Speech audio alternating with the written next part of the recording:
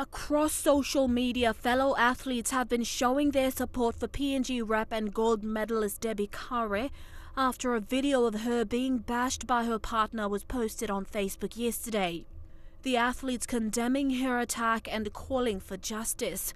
Several big name athletes and officials have posted videos online to show unity in their fight against domestic violence in the community all of whom expressing their shock and disgust at the actions of the PNG Defence Force lieutenant. I couldn't even watch the whole video. I was scarred and it really traumatized me.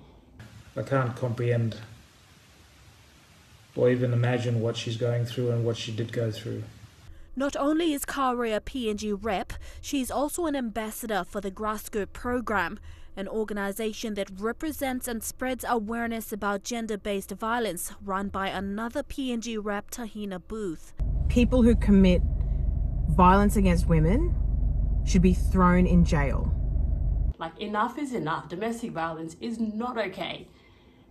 I just can't believe we're in 2020 and still discussing this all those showing widespread support for Kaore, reiterating the same sentiment. Why are we in 2020 still talking about this?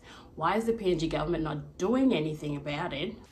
That we need to stop this, especially from our armed forces, our army, our police.